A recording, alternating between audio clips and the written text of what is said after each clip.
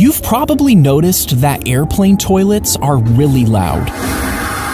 But the reason they're loud actually makes sense. You see, airplanes need an efficient way to get rid of waste that doesn't use a lot of water. So they use a vacuum-like system that sucks up your dookie at 300 miles per hour.